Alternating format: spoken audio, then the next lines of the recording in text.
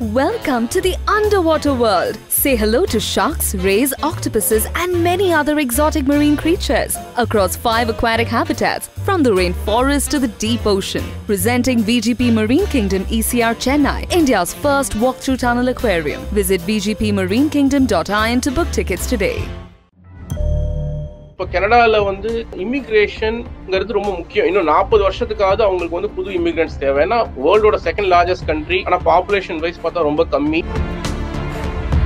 கனடாவுக்கு இமிக்ரெண்ட்ஸ் தேவை. இப்போ வந்து கோவிட்னால இன்னுமே தேவைப்படுறாங்க. கனடாவோட கவர்மெண்ட் எவ்வளவு பேர் புதிதாக நாட்டுக்குள்ள அனுமதிக்க போறாங்க அப்படின்னு. அந்த நம்பர் டுவெண்ட்டி பர்சன்ட் இன்க்ரீஸ் பண்ணியிருக்காங்க. இருபத்தஞ்சுங்கிறது ரொம்ப ஈஸி ஒரு வருஷம் கனடால ஒர்க் பண்ணியிருந்தாலே ஐம்பது பாயிண்ட் வந்துடும் மிச்சம் இருபத்தஞ்சு பாயிண்ட் வந்து உங்களுக்கு ரொம்ப மினிமம் பாயிண்ட்ஸ்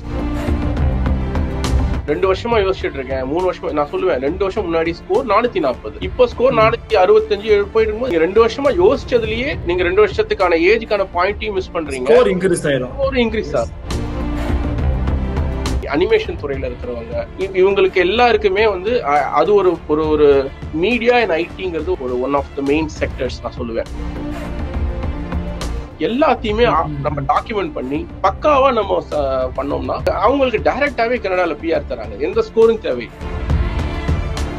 எனக்கு வந்து டைரக்டா விசா எல்எம்ஐ எல்லாம் கொடுத்துட்டாங்க. அப்படி ஏதாவது வரும். அது எல்லாமே பாத்தீங்கன்னா ரொம்ப ஃபேக்கா இருக்கும். இப்ப நானே வந்து உங்களுக்கு நான் வேணா ஷேர் பண்ணி நீங்க காமிக்கலாம்.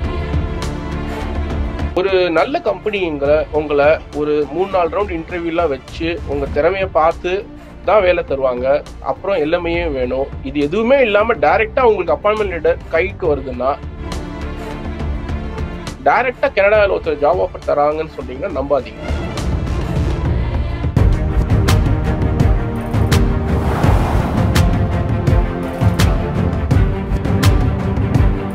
தமிழின் நம்பர் ஒன் அரசியல் யூடியூப் சேனலான ஆதம் தமிழியர்களுக்கு அன்பு வணக்கங்கள். இன்று நம்முடைய ஆதம் தமிழின் தூர பார்வை நிகழ்வில் நம்மோடு இணைந்திருக்கக்கூடிய சிறப்பு விருந்தினர் கெனக்ஸ் டாட் சிஏ அதனுடைய சிஇஓ கனடாவில் இணைந்திருக்கிறார். மரியாதைக்குரிய திரு ரசனை ஸ்ரீராம் அவர்கள். வாருங்கள் அவரோட ஒரு சிறப்பு தூர பார்வை நிகழ்ச்சி.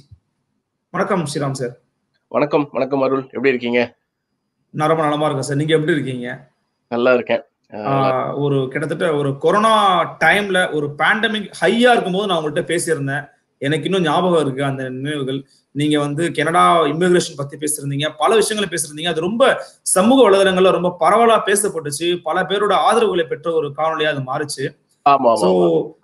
அந்த அடிப்படையில மீண்டும் ஒரு சில கேள்விகள் இரு- இருக்கின்றன. அன்று விடுபட்ட கேள்விகளும் இருக்கு. அதே போல கொரோனாவுக்கு பிறகான ஒரு சில சூழலை நம்ம கண்டிப்பா உற்று நோக்க வேண்டிய ஒரு கட்டாயம் இருக்கு. அந்த அடிப்படையில என்னுடைய முதல் கேள்வி அப்படிங்கிறத கனடா தற்போது குடியேறுவதற்கான நிலையில இருக்குதா? தற்போதைய கனடா நாட்டினுடைய சூழல் என்ன சார்? எக்ஸ்பிளைன் பண்ண முடியுமா?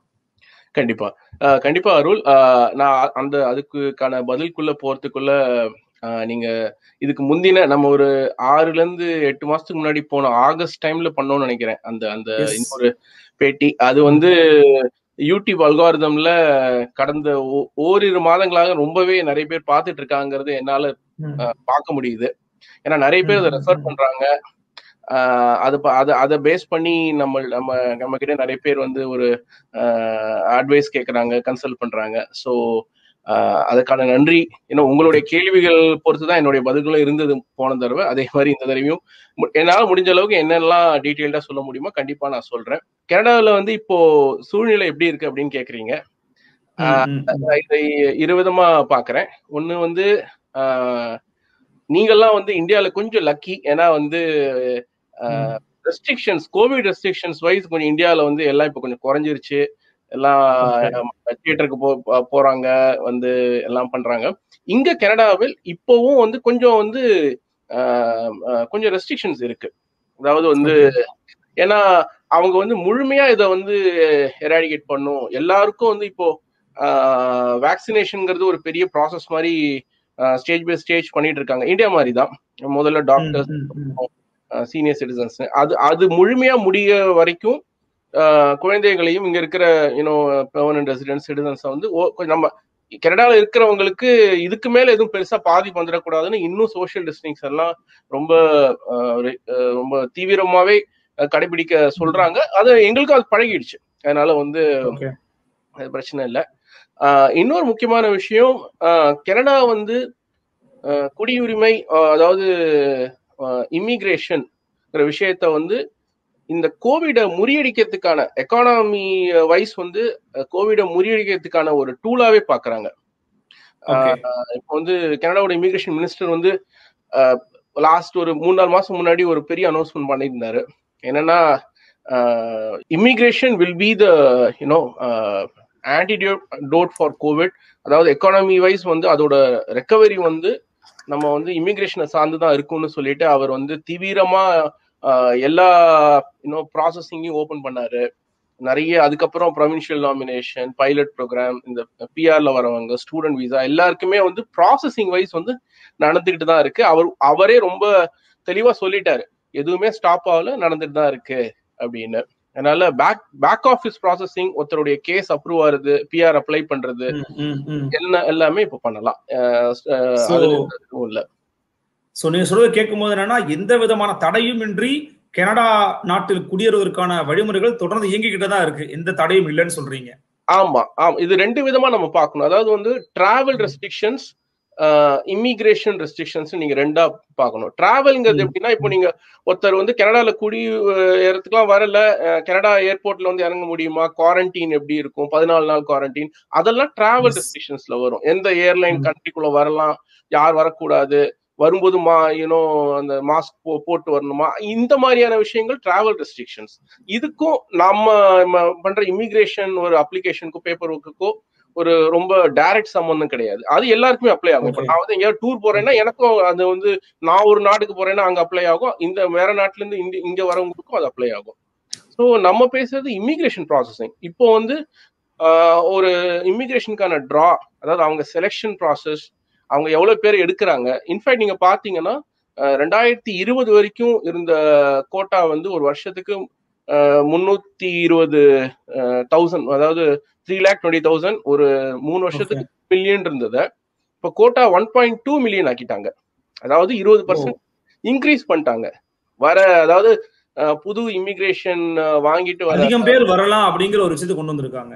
ஆமா இரு இப்ப பாத்து அதான் அது நீங்க பாத்தீங்கன்னா கோவிட் டைம்ல இவங்க எடுத்த ரொம்ப ஒரு ஸ்ட்ராட்டஜிக் முடிவு இது. ஏன்னா இவங்களுக்கு வந்து கனடால வந்து ஆஹ், இது வரைக்கும் பெரிய எக்கனாமி வைஸ் வந்து ஒரு பெரிய இம்பாக்டே இல்லை. ஏன்னா வீடு விலையெல்லாம் ஏறிட்டு இருக்கு ஆஹ், புதுசு புதுசா நிறைய யூனோ கன்ஸ்ட்ரக்ஷனோ இதுவோ நடந்துகிட்டு இருக்கு இது புது இமிகிரன்ஸ் வர வரதான் அது வந்து it is speeding up the economic recovery ஏன் டவுட் என்னன்னா பேண்டமிக் டைம்ல பல நாடுகள் வந்து பல பேர் எங்க நாட்டுக்குள்ள வந்துடாதீங்க அப்படின்னு சொல்லக்கூடிய சூழலை பார்க்க முடிகிறது. பல பேர் அப்படிதான் தடுக்கிறாங்க. ஆனா இவ்வளவு வீரியத்தோடு இன்னும் அதிகமான எண்ணிக்கையில நபர்களை உள்ளே அனுமதிக்கிறதுக்கான காரணம் பர்டிகுலர் ரீசன் என்ன சார் அதாவது இது வந்து இது ஒரு ஈகோ சிஸ்டம் அதாவது எப்படி சொல்லணும்னா ஒரு ஒன்றை சார்ந்து இன்னொன்று இயங்குற மாதிரி வருது இப்போ வந்து இப்போ கனடால வந்து இன்னும் இன்னும் இமிகிரேஷன்ங்கிறது ரொம்ப முக்கியம். இன்னும் நாற்பது வருஷத்துக்காவது அவங்களுக்கு வந்து புது இமிகிரன்ஸ் தேவை. ஏன்னா வேர்ல்டோட செகண்ட் லார்ஜஸ்ட் கண்ட்ரி ஆனா பாப்புலேஷன் வைஸ் பார்த்தா ரொம்ப கம்மி. இதுவே புதுசு புதுசாக உங்களுக்கு இமிகிரன்ஸ் வரதான் அதை சார்ந்து ஒரு நகரம் வந்து இன்னும் ஒரு ஒரு சுத்து பெருசாகுது. அதுக்கான. இப்ப எங்க எங்களோட ஏரியா சுத்தி இருக்கிற முன்னாடி எல்லாம் ஒரு காடா இருந்த ஏரியாலாம் இப்போ வந்து அடுத்தடுத்து புது கம்யூனிட்டி ஆகுது. அங்க ஒரு இருபது கடைகள் வருகிறது. அதுல வேலை பாக்குறாங்க இப்ப நான் ஒரு இதுக்கு போறேன் அஹ், கடைக்கு போறேன். அங்க இன்னொரு ஒரு பிசினஸ்ல இருந்து என்னோ என்னோட இதுக்கு வராங்க. ஸோ இது இது ஒரு இமிகிரன்ஸ் இருக்க இருக்க தான் இந்த கண்ட்ரியோட. யங் ஒர்க் ஃபோர்ஸ் வந்து இன்க்ரீஸ் ஆறாங்க. நிறைய பேர் வராங்க. கண்ட்ரியோட ஜிடிபி அந்த அந்த ப்ரொடக்டிவிட்டி வைஸ் வந்து அவுட்புட் வந்து கூடுது. ஸோ கனடாவுக்கு இமிகிரன்ஸ் தேவை. இப்போ வந்து கோவிட்னால இன்னுமே தேவைப்படுறாங்க. ஸோ இவங்க என்ன பண்றாங்க? கண்ட்ரிக்குள்ள வரதை வந்து ரொம்ப கேர்ஃபுல்லா ப்ராப்பரா வந்தா குவாரண்டைன் பண்ணணும். ஒன்னும் செல்ஃப் குவாரண்டைன் இருந்தது இப்போ இனிமே ஹோட்டல் குவாரண்டைன் லெவலுக்கே வந்து போறாங்க. அதெல்லாம் பண்ணி. சேஃபா கண்ட்ரிக்குள்ள அலோவ் பண்றாங்க. ஆனா அதே சமயத்துல தே அவங்க அப்ரூவ் பண்ற கேஸ்கள் நிறைய தான் இருக்கு. அது போயிட்டே தான் இருக்கு. கனடாவை நோக்கி அங்கு இடம்பெயர்ந்து வாழலாம் குடிபெயர்ந்து வாழலாம் அப்படின்னு சொல்லிட்டு வரக்கூடிய மக்களுக்கு கனடா அரசு எப்படி அவர்களுடைய பயணத்தை கையாளுகிறது? How they are handling their travel ரெண்டா பிரிச்சுட்டாங்க. எசென்ஷியல் நான் எசென்ஷியல் டிராவல் அப்படின்னு ரெண்டா அதை வந்து வகுக்கிறாங்க.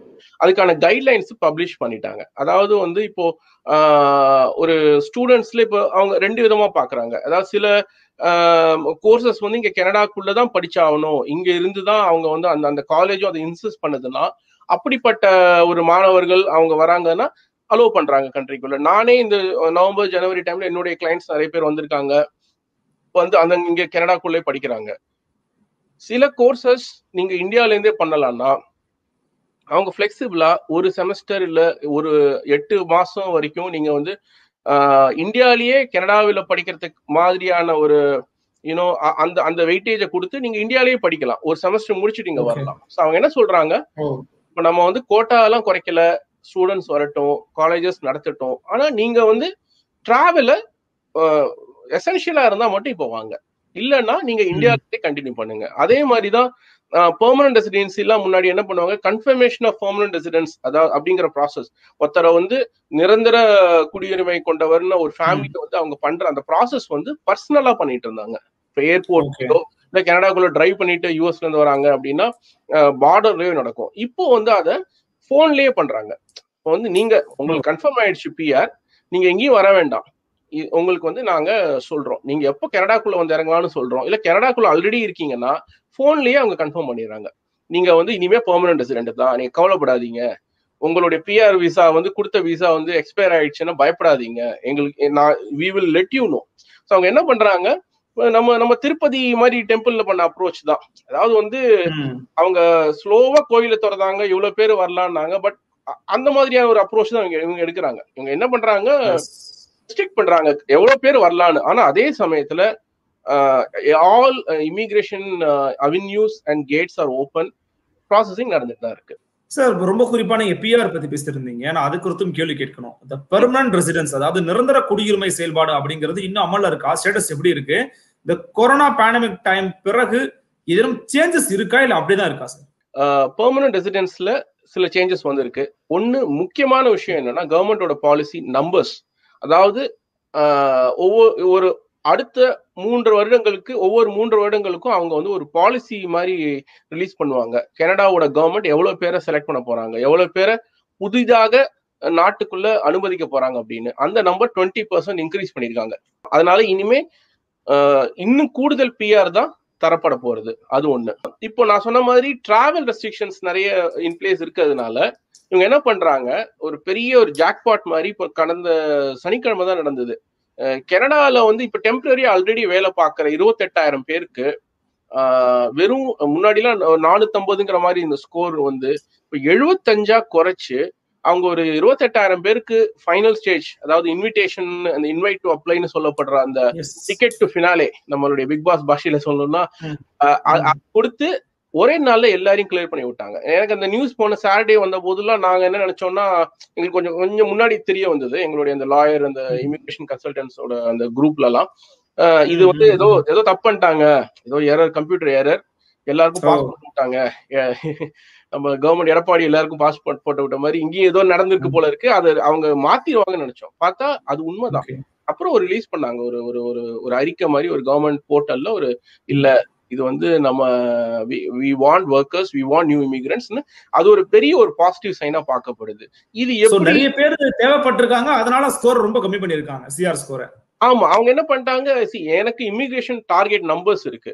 இப்போ ஒரு வந்து ஒரு ஒரு ஒரு கம்பெனி வந்து ஒரு ஆயிரம் பேரை வந்து ப்ரமோட் பண்ணணும். ஆஃபீஸரானா ஆனா அவங்களால வெளியில் எடுக்க முடியலன்னு என்ன பண்ணுவாங்க? ஆல்ரெடி இருக்கிறவங்கள எல்லாருக்குமே ஒரு ஜாக்பாட் மாதிரி ஒரு போனஸோ ஒரு ஒரு ப்ரமோஷனோ தர மாதிரி இங்க இருக்கிறவங்களுக்கு அவங்களுக்கு அவங்க கன்ஃபார்ம் பண்ணிட்டாங்க. இப்ப என்ன வந்து ஆஹ் இப்ப யூஎஸ்ல எல்லாம் வந்து வருஷ கணக்குல வெயிட் பண்ணிட்டு இருந்து கிடைக்குமோ கிடைக்காதோ அங்க இருக்கிற எலெக்ஷன் சூழ்நிலை ட்ரம்ப் சூழ்நிலை இல்ல கோவிட்னாலயோ எல்லாமே கொஞ்சம் பயந்துட்டு இருக்கிற சமயத்துல இவங்க என்ன பண்றாங்க இவங்க ஆப்போசிட்டா போறாங்க. டெம்பரரியா இருக்கிறவங்கள நீங்க பர்மனண்டா இங்க இருங்க. நீங்க கவலைப்படாதீங்க. நீங்க வெறும் எழுபத்தஞ்சு எழுபத்தஞ்சுங்கிறது ரொம்ப ஈஸி ஒரு வருஷம் கனடால ஒர்க் பண்ணியிருந்தாலே ஐம்பது பாயிண்ட் வந்துடும் மிச்சம் இருபத்தஞ்சு பாயிண்ட் வந்து உங்களுக்கு ரொம்ப மினிமம் பாயிண்ட்ஸ் வெறும் எழுபத்தஞ்சு பாயிண்ட்டுக்கு அவங்க வந்து அலோ பண்றாங்க. ஏன்னா அவங்களுக்கு தெரியுது. கனடாவுக்கு வந்து இப்போ தேவை. நிறைய கம்பெனிஸ் வந்து ஹையரிங் ஸ்ட்ரகிள் பண்ணிட்டு இருக்காங்க அப்படிங்கிறது. ஓகே இது இப்படியே இருக்குமா? இல்ல கொஞ்சம் உயர வாய்ப்பு இருக்கா சார் இல்ல அதாவது என்ன ஆகும்னா இப்போ இது வந்து வெளியில இருந்து வரவங்களுக்கு இதனால இப்ப என்ன இம்பாக்ட்னு பார்க்கணும். இப்போ இனிமே அப்ளை பண்ண போறவங்க ஆல்ரெடி இப்போ கியூல ஃபாரின் ஸ்கில்டு ஒர்க்கர்னு அதாவது இப்போ இந்தியால இருந்தோ வேற கண்ட்ரில இருந்து அப்ளை பண்றவங்களுக்கு இது கொஞ்சம் ரிலாக்ஸ் பண்ணும். கூட்டத்தை அதாவது இப்ப நம்ம முன்னடிச்சுட்டு நின்ன ஒரு அந்த பூல்ல அதாவது வந்து ஒரு இடத்துல. வெயிட் பண்றோம் ஒரு கேட்டுக்குள்ள நுழையது அதுல ஒரு ஒரு ஒரு பெரிய சங்க் ஆஃப் பீப்புள் வந்து அவங்க வந்து அப்ரூவ் பண்ணிட்டாங்கன்னா நம்ம ஆல்ரெடி இருக்கிறவங்களுக்கு கொஞ்சம் ரிலாக்ஸ்டா கொஞ்சம் ஸ்பேஸ் கிடைக்கும்ல. ஃப்ரீ ஆகும். கொஞ்சம் ஃப்ரீ ஆகும். Free ஆகும். கட் ஆஃப் வந்து federal skilled worker federal skilled trade அதாவது இந்த ரெண்டு மெயின் கேட்டகரியில கண்டிப்பாக கொஞ்சம் குறையும்னு நான் நினைக்கிறேன். ஒரு டிராஸ்டிக்கா குறையுமா சொல்ல. முடியல பட் குறையும். இப்ப நம்ம பேசிட்டு இருக்கிறதே வந்து பாத்தீங்கன்னா சிஆர் ஸ்கோர் அப்படிங்கிறது தான். இது வந்து கொஞ்சம் டெக்னிக்கல் டேர்ம் அப்படிங்கிறதுனால சிஆர்எஸ் ஸ்கோர் அப்படிங்கிறது என்ன? இதனுடைய முக்கியத்துவம் என்ன அப்படிங்கறது நம்ம நேர்களுக்கு நீங்க சொல்லணும்னு விருப்பப்படுறேன் சார். கண்டிப்பா. சிஆர்எஸ் அப்படிங்கிறது comprehensive ranking system score. CRS ஸ்கோர்ங்கிறது அதுதான். இது என்னன்னா நம்மளுடைய பழைய மெடிக்கல் இன்ஜினியரிங் கட் ஆஃப் மாதிரி தான் இப்போ நான் படிச்ச காலத்துலலாம் த்ரீ ஹண்ட்ரடுக்கு டூ செவன்ட்டி வாங்கினா இந்த காலேஜ் போகலாம் டூ நைன்ட்டி வாங்கினா மெடிக்கல் காலேஜ் போகலாம் அந்த மாதிரி ஒரு கட் ஆஃப் மாதிரி இருக்கு. இருந்தது. அந்த மாதிரியான ஒரு கட் ஆஃப் தான் அது. இப்போ நீங்க இதை நீட்டோ இல்லை வேற எந்த காம்படிட்டிவ் எக்ஸாமுக்கான ஸ்கோர் மாதிரி இதை எடுத்துக்கலாம். இது வந்து. எசென்ஷியலி ஒரு ஃபார்முலா இந்த இந்த இந்த ஃபார்முலாக்குள்ள போறது என்னன்னா ரா மெட்டீரியலா கச்சா பொருட்களா இதுக்குள்ள போறது நாலே விஷயம்தான். ஒன்னு ஏஜ் எக்ஸ்பீரியன்ஸ். எஜுகேஷன் அப்புறம் நாலாவது லாங்குவேஜ் இல்லாட்டி லாங்குவேஜ் ஸ்கில்ஸ் இங்கிலீஷ் இல்லாட்டி பிரெஞ்சு இல்ல ரெண்டு இது. ரெண்டோட காம்பினேஷன் இதை தான் அவங்க பல பல யூனோ ஃபார்முலால போட்டு ஓகே ஏஜ் வந்து இருபத்தொன்பதுக்குள்ள இருக்கா? நிறைய பாயிண்ட் எஜுகேஷன் வந்து டாக்டரேட்னா அதிகம் பாயிண்ட் அதுக்கு கீழே மாஸ்டர்ஸ் இல்ல ஒரு டிப்ளமா படிச்சுட்டு டிகிரி பண்ணிருக்கீங்களா? அப்ப இவ்வளவு பாயிண்ட்னா அவங்க வேற வேற வெயிட்டேஜை மாத்தி இந்த சிஆர்எஸ் ஸ்கோர் டெரைவ் ஆகுது. இந்த சிஆர்எஸ் ஸ்கோர். தான். பொதுவா நானூத்தி ஐம்பதுக்கு மேலேயே இருந்த இந்த கட் ஆஃப் வந்து கெனேடியன் எக்ஸ்பீரியன்ஸ் கிளாஸ்ங்கிற ஒரு கேட்டகரிக்கு எழுபத்தஞ்சா குறைஞ்சிருக்கு. இந்த சிஆர்எஸ் ஸ்கோர் தான் செவன்டி ஃபைவ் பாயிண்ட்ஸா போன வாரம் குறைஞ்சிருக்கு. சோ யாரெல்லாம் அப்ளை பண்ணாங்களோ அவங்களுக்கு எல்லாம் கிடைச்ச மாதிரி ஆயிருக்கு. சிஆர்எஸ் ஸ்கோர்ல வந்து நிறைய ஸ்கோர் பண்ணணும்னா என்ன சார் பண்ணணும்? இதற்கான வழிமுறைகள் என்னென்ன சார் ஸோ சிஆர்எஸ் ஸ்கோர்ல வந்து இப்ப நம்ம எப்படி அப்ரோச் பண்ணணும்னா எதை நம்மளால மாத்த முடியும் எதை நம்மளால மாத்த முடியாதுங்கிறது. இப்ப ஏஜ்க்கான பாயிண்ட்டை ஒருத்தர்னால பொதுவா பெருசா மாத்த முடியாது. அது. எனக்கு. முப்பத்தஞ்சு வயசுனா முப்பத்தஞ்சு வயசு தான். அதுக்கு இவ்வளவு பாயிண்ட் தான் வரும்னா ஆனா அதை அதை ஞாபகம் வச்சுட்டு கனடாவை பொறுத்தவரை முன்கூட்டியே அப்ளை பண்றதுங்கிறது ரொம்ப நல்லது. ஏமா நம்ம ஒரு ஐடியா வந்து இப்ப என்கிட்ட நிறைய கிளைண்ட் சொல்லுவாங்க. நான் ரெண்டு வருஷமா யோசிச்சுட்டு இருக்கேன். மூணு வருஷமா நான் சொல்லுவேன் ரெண்டு வருஷம் முன்னாடி ஸ்கோர் நானூத்தி நாற்பது இப்போ ஸ்கோர். நானூத்தி அறுபத்தஞ்சு போயிட்டு இருக்கும்போது நீங்க நீங்க நீங்க ரெண்டு வருஷமா யோசிச்சதுலயே நீங்க ரெண்டு வருஷத்துக்கான ஏஜுக்கான பாயிண்டையும் மிஸ் பண்றீங்க. ஸ்கோர் இன்க்ரீஸ் ஆயிரும். ஸ்கோர் இன்க்ரீஸ் ஆகும். ஸ்கோர் வந்து கிராஜுவலா ஸ்டாக் மார்க்கெட் மாதிரி நீ கனடாவோட ஸ்கோர் இன்க்ரீஸ் ஆயிட்டே தான் போகும். ஏன்னா இப்ப மற்ற. கண்ட்ரிகள்ல நுழையிறது வந்து கடினமாயிட்டே வர சூழ்நிலையில கனடா வந்து பார்க்க ஒரு ஒரு ஸ்ட்ராட்டஜிக்கா நிறைய பேர் பாக்குறாங்க சி கனடா போனா நம்ம ஆஸ்திரேலியா மாதிரி இந்தந்த சிட்டில எல்லாம் சில ஆஸ்திரேலியால பெரிய சிட்டில எல்லாம் இப்ப வாங்கவே முடியாது பிஆர் அந்த மாதிரி சூழ்நிலை இல்ல யூகேக்குள்ள போக முடியாது. எல்லா கண்ட்ரியும் டஃபா இருக்கிற நேரத்துல கனடா வந்து. நிறைய பேர் அப்ளை பண்றது இப்போ ஒரு மா- ஒரு ரெண்டு வாரத்துக்கு அவங்க அஞ்சாயிரம் பேர் எடுக்கிறாங்கன்னா அதுல டாப் அஞ்சாயிரம் பேர் எடுக்கிறாங்க. அப்போ அந்த அப்போ நிறைய பேர் அப்ளை பண்ணும்போது என்ன ஆகுது? தொண்ணூறுக்கு மேல மார்க்குக்கு மேல இருக்கிற நிறைய பேர் வந்து இன்க்ரீஸ் ஆறாங்க. சோ உங்களுக்கு கட் ஆஃப் வந்து தானே மேல போறது. சோ அதனால வந்து உங்களுக்கு நீங்க அப்ளை பண்ணணும்னு நினைக்கிறீங்கன்னா டிலே பண்ணாதீங்க. அந்த பூல்குள்ள போயிடுங்க. அது என்னுடைய முதல் டிப் ரெண்டாவது ஏஜ்க்கான பாயிண்ட்ல மாத்த முடியாதுன்னு சொன்னேன். இப்ப ரெண்டாவது எஜுகேஷன் பார்த்தீங்கன்னா நீங்க வந்து இது ரெண்டு விதமா பாருங்க. ஒரு மாஸ்டர்ஸ் இருக்கிறது இல்ல ஒரு பிஜி டிப்ளமா இருக்கிறது. ஒரே ஒரு வருஷம் பிஜி டிப்ளமா நீங்க எங்கேயாவது ஒரு நம்ம இந்திரா காந்தி நேஷனல் ஓபன் யூனிவர்சிட்டியில படிச்சிருந்தாலும் பரவாயில்ல. டிஸ்டன்ஸ் எஜுகேஷன் கரஸ்பாண்டன்ஸ்ல படித்தாலும் தவறில்லை. கனடாவை பொறுத்தவரை அதையும் ப்ராப்பர் பிஜியாவே கன்சிடர் பண்ணுவாங்க. அவங்க வந்து ரொம்பலாம் அந்த அந்த ஒன் குட் திங் இஸ் அந்த அவங்க எஜுகேஷனை வந்து வெரிஃபை பண்ணும்போது இது இது டிஸ்டன்ஸ் எஜுகேஷன் அதனால இதை நான் கணக்குல எடுத்துக்க மாட்டேன்லாம் கிடையாது. அது ப்ராப்பர் யூனிவர்சிட்டியா கவர்மெண்ட் அப்ரூவ்டு யூனிவர்சிட்டியா இருக்கிற பட்சத்துல நீங்க நேரா போய் அட்டன் பண்ணியிருந்தாலும் ஒண்ணுதான். ஈவினிங் காலேஜ்ல படிச்சிருந்தாலும் ஒண்ணுதான். பார்ட் டைமா பண்ணியிருந்தாலும் ஒண்ணுதான். கரஸ்பாண்டன்ஸ்ல பண்ணியிருந்தாலும் அதுக்கு ஈக்குவல் வேல்யூ தான். ஸோ நீங்க ஒரு ஒரு ஒன் இயர் பிஜியோ ஏதோ பண்ணி வச்சுக்கிறது நல்லது. உங்களால முடியும்னா பண்ணிக்கோங்க இந்தியால. ஏன்னா அது எப்பவுமே கூடுதல் பாயிண்ட்ஸ் கூடுதல் வெயிட்டேஜ் தரும். மூணாவது. ரொம்ப முக்கியமான விஷயம் லாங்குவேஜ். இப்போ வந்து இங்கிலீஷ் பிரெஞ்சு இது ரெண்டுமே கனடாவுடைய தேசிய மொழிகள். இதுல வந்து கொஞ்சம் பிரெஞ்சுக்கு வந்து நம்ம சவுத் இந்தியன் லாங்குவேஜஸ் மாதிரி ஒரு இரண்டாம் இடம் தான் இத்தனை நாள் அப்படிதான் இருந்துட்டு இருக்கு. ஏன்னா பிரெஞ்சு வந்து மைனாரிட்டி தான். ஒரு சில ஒன்- அஹ், நம்ம எப்படி சவுத்துல நிறைய திராவிட மொழிகள் இருக்கோ அது மாதிரி இங்க வந்து ஈஸ்ட் ஆஃப் கனடால தான் கியூபெக் மாகாணத்துல தான் நிறைய பேசுறாங்க. பேசுறாங்க. மத்த ஊர்ல இப்ப நான் எனக்கெல்லாம் பிரெஞ்சு ஒண்ணுமே தெரியாது. நான் பத்து வருஷமா இங்க இருக்கேன். நம்ம முக்காவாசி ப்ராவின்சஸ்ல இங்கிலீஷ் வச்சு மேனேஜ் பண்ணிடலாம். இப்ப நான் இருக்கிற ஊர்ல எல்லாம் பஞ்சாபி வச்சு ஹிந்தி வச்சு மேனேஜ் பண்ணலாம். அந்த அளவுக்கு நம்ம மக்கள் பிரெஞ்சு தெரிஞ்சுக்கிறதுனால கூடுதல் சிறப்பம்சங்கள் இருக்கா சார் அதான் சொல்ல வரேன். இப்போ அதை புரிஞ்சுட்டு என்ன பண்றாங்க? பிரெஞ்சை புஷ் பண்றாங்க. அவங்க பிரெஞ்சுக்கான வெயிட்டேஜ் அந்த சிஆர்எஸ்க்கான ஃபார்முலா சொன்னேன்ல அதுல. இன்னொரு லாங்குவேஜ் தெரிஞ்சிருந்தா இப்போ. எனக்கு ஒரு மெயின் லாங்குவேஜ் தெரியும் அதை தாண்டி எனக்கு இன்னொரு லாங்குவேஜ் இங்கிலீஷ் தெரிஞ்சிருக்கு பிரெஞ்சும் தெரிஞ்சிருக்கு அப்படின்னா பாயிண்ட்ஸ் வந்து கூடுது வெயிட்டேஜை இன்க்ரீஸ் பண்ணிருக்காங்க இருபத்தஞ்சுல இருந்து ஐம்பது பாயிண்ட் எக்ஸ்ட்ரா தராங்க இப்போ பிரெஞ்சு. தெரியும்னா இப்போ எனக்கு சில கிளைண்ட்லாம் இருப்பாங்க அவங்க வந்து நான் கேட்பேன் வேற ஏதாவது லாங்குவேஜ் தெரியுமானா நான் வந்து பாண்டிச்சேரி எனக்கு வந்து கொஞ்சம் பிரெஞ்சு தெரியும் அப்படின்னு தெரியுமா? அது ரொம்ப ரொம்ப நல்ல விஷயம். அதை யூஸ் பண்ணிக்கலாம் அப்படின்னு சொல்லிட்டு இப்போ பிரெஞ்சு தெரிஞ்சிருந்தா கொஞ்சம் வெயிட்டேஜ் கூடுது. பாயிண்ட்ஸ் வந்து இன்க்ரீஸ் ஆகுது. இது Okay. சிஆர்எஸ் கோட்ல அவங்க இன்க்ரீஸ் ஆகுது. இந்த மாகாணங்கள் சார்ந்த ப்ராவின்சியல் நாமினேஷன்லயும் இப்போ பிரெஞ்சுக்கு வெயிட்டேஜ் ஆகுது. ஸோ இன்னொரு லாங்குவேஜ் தெரிஞ்சுக்கிறது நல்லது. அது ஒண்ணு. இன்னொன்னு இப்ப இங்கிலீஷ் லாங்குவேஜ் தான் இப்ப நிறைய பேருக்கு படிக்க முடியும். இதுக்காக நம்ம பிரெஞ்சை வந்து இனிமே சில பேருக்கு வரும் வராது படிக்க முடியாது. ஸோ நாங்க என்ன இப்போ இங்கிலீஷ் தானே நிறைய பேருக்கு முட்டுக்கட்டையா இருக்குன்னு ம். கேனெக்ஸ்ல இப்போ இந்த வருஷத்துல இருந்து ஒரு ஒரு வேர்ல்ட் கிளாஸ் ஒரு ஐஎல்ஸ் கோச்சிங் பண்ற ஒரு ட்ரெயினரோட சிங்கப்பூர்ல இருந்து நம்ம வந்து டைப் பண்ணியிருக்கோம். அவங்க ஆல்ரெடி நிறைய மத்த யூனோ இன்ஸ்டிடியூஷன்ஸ்க்கு அவங்க ரொம்ப வருஷமா கோச்சிங் பண்ணிட்டு இருக்காங்க.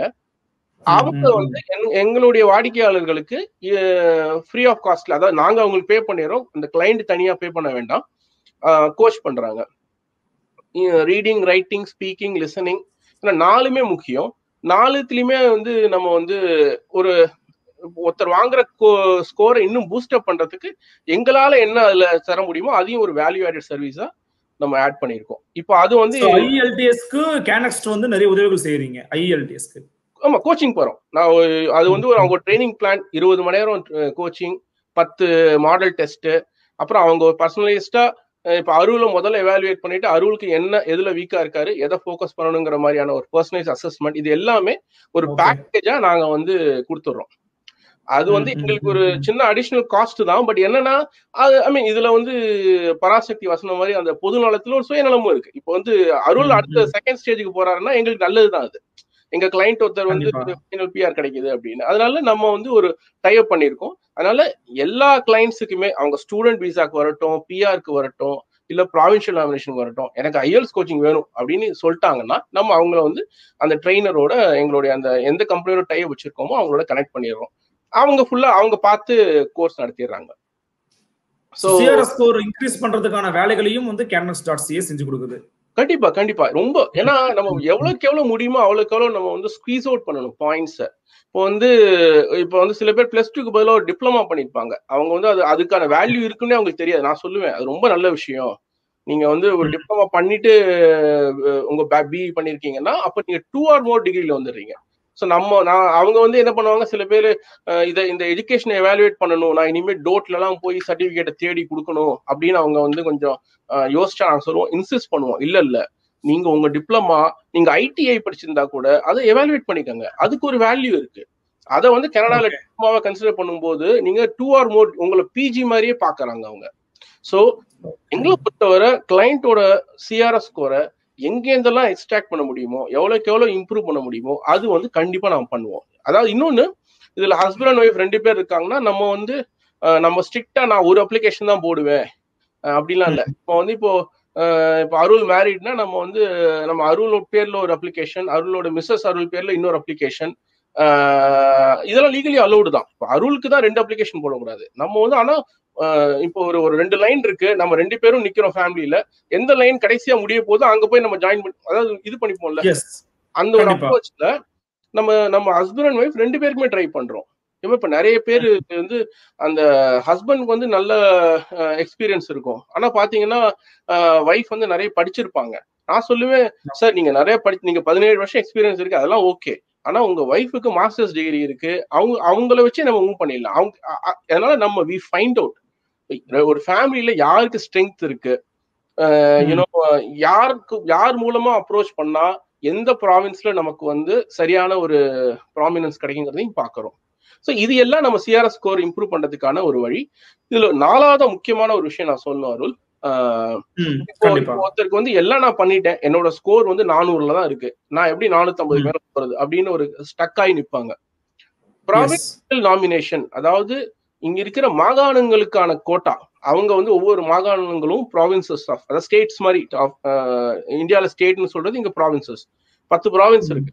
பத்து ப்ராவின்ஸுக்கும் ப்ராவின்ஷியல் நாமினேஷன் ப்ரோக்ராம் இருக்கு. அதாவது அவங்க ரெக்கமெண்ட் பண்ணலாம். எப்படி தமிழ்நாடு கோட்டால வந்து இவ்வளவு ஐஏஎஸ் அப்படின்னு இருக்கோ அது மாதிரி ஒவ்வொரு ப்ராவின்ஸும் அவங்களுடைய எக்கனாமிக் இன்னும் நீட்ஸை பொறுத்து யாரெல்லாம் ஹியூமன் ரிசோர்ஸ் நீட்ஸை பொறுத்து எனக்கு எனக்கு என் ஸ்டேட்ல வந்து என் ப்ராவின்ஸ்ல டாக்டர்ஸ் கம்மியா இருக்காங்க. செஃப் கம்மியா இருக்காங்க ஐடி மக்கள் கம்மியா இருக்காங்கன்னா அவங்க வந்து கேட்டகரிஸ் கொண்டு வருவாங்க. நம்ம வந்து தொடர்ச்சியா நம்ம வந்து பார்த்துட்டே வருவோம். எந்தெந்த ப்ராவின்ஸ்ல வந்து உங்களுக்கு டிரா நடக்குது யார் என்ன கேட்டகரியில செலக்ட் பண்றாங்க. இந்த ப்ராவின்ஷியல் நாமினேஷன் இருந்தா அவங்க தர சர்டிபிகேட்டுக்கு அறுநூறு எக்ஸ்ட்ரா பாயிண்ட்ஸ் வேல்யூ இப்ப நானூறுல ஒருத்தர் இருக்காருன்னா பிளஸ் சிக்ஸ் ஹண்ட்ரட் ஆட் ஆயிடும். ஆயிரம் பாயிண்ட்டுக்கு போயிருவாரு. அப்போ சொன்னேன் எவ்ரி டூ வீக்ஸ் எடுத்துட்டே இருக்காங்க. ஒரு ஆவரேஜ் அஞ்சாயிரம் பேருன்னு.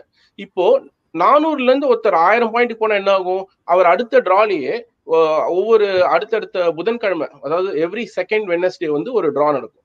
அந்த டிரால வந்து செலக்ட் ஆயிடுவாரு. ஸோ ப்ராவின்ஷியல் நாமினேஷன்ங்கிறது ஒரு மிகப்பெரிய ஒரு பூன் பட் அது வந்து நம்ம அவங்களுக்கு அவங்க எப்போ செலக்ட் பண்ணுவாங்க நமக்கு தெரியாது. அதனால நம்ம அவைலபிளா இருக்கணும். அதாவது நம்ம வந்து அப்ளை பண்ணிடணும். என்னை பொறுத்தவரை கனடாக்கு நான் என்ன சொல்லுவேன்னா நீங்க அப்ளை பண்ணிடுங்க. உங்களுடைய ஸ்கோர் கம்மியா இருக்கு. அதெல்லாம் இருந்தாலும் உங்களுக்கு எலிஜிபிலிட்டி இருக்குன்னா முதல்ல ஒரு அப்ளிகேஷனை போட்டுருங்க. இப்போ வந்து போன வெள்ளிக்கிழமை போட்டவங்களுக்கு சனிக்கிழமை மார்னிங் வந்து எழுபத்தஞ்சு பாயிண்ட்டுக்கு வந்துடுச்சு. இப்போ அதை மிஸ் பண்ண என்னோட ஒன்று ரெண்டு கிளைண்ட்ஸ் இருக்காங்க. அவங்க டாக்குமெண்ட்ஸ் தராம அவங்களாம் இப்போ ச்சே நம்ம ஒரு நாள்ல மிஸ் பண்ணிட்டோமே நினைப்பாங்க. ஸோ உங்களுக்கு வந்து எப்போ இந்த மாதிரியான ஒரு டிராலாம் நடக்கும்? ஒரு நமக்கு லக் அடிக்கும்னு சொல்ல முடியாது. அதனால முன்கூட்டியே நம்ம முடிஞ்ச அளவுக்கு நம்ம அந்த பூல்ல போயிடணும். அப்ளிகேஷன் பூல்ல நம்ம போயிடணும். கண்டிப்பா சார் ரொம்ப முக்கியமா இன்னொரு கேள்வி வந்து போன வீடியோ முடிச்ச பிறகு கூட நிறைய பேர் கமெண்ட்ஸ்ல கேட்டிருந்தாங்க. எனக்குமே அந்த கேள்வி வந்து மீண்டும் கேட்கணும் அப்படிங்கிற எண்ணம் இருந்துச்சு. எந்த துறையை சேர்ந்தவர்களுக்கு வாய்ப்புகள் நிரம்ப நிறைய இருக்குன்னு நீங்க சொல்ல முடியுமா சார் பாயிண்ட் பண்ணி சொல்ல முடியுமா? இந்த டிபார்ட்மெண்ட்டுக்கு நிறைய வாய்ப்புகள் இருக்கு அப்படின்ட்டு. மூணு துறை சொல்லுவேங்க மெயினா ஒன்னு information technology is continuing to progress ஏன்னா கனடா வந்து நாலேஜ் ஒர்க்கர்ஸ் தேவைப்படுறாங்க. நிறைய ஸ்டார்ட் அப்ஸ் இருக்கு ஸோ ஐடி துறையில் இன்னொன்னு இப்போ என்னன்னா கோவிட்னால நடந்த ஒரு ஒரு ஒரு செகண்டரி நல்ல விஷயம் என்னன்னா இந்த ரிமோட் ஒர்க்கிங்கிறது ரொம்ப பரவிடுச்சு. இப்போ இனிமே நம்ம ஆஃபீஸ் போய் தான் ஒர்க் பண்ணணும் அப்படிலாம் ஒன்றும் இல்லை. ஸோ நிறைய அமெரிக்கன். கம்பெனிஸ் வந்து இங்க அதே டைம் ஜோன் ஈஸ்டர்ன் டைம் ஜோன்ல நீ கனடா டொரண்டோல இருந்து கனடால இருந்து ஒர்க் பண்ண என்ன நியூயார்க்ல இருந்து ஒர்க் பண்ண என்ன எல்லாம் ஒண்ணுதான் அப்படிங்கிற மாதிரி. இப்ப நிறைய அவங்க கனடாக்கு வந்து ஒர்க் வேலைகளை அனுப்புறாங்க. இங்க வந்து கெனடியன் டாலர் வந்து யூஎஸ் டாலரோட கொஞ்சம் சீப்பருங்கிறதுனால அவங்களுக்கு அது சேவ் ஆகுது ஸோ வந்து உங்களுக்கு.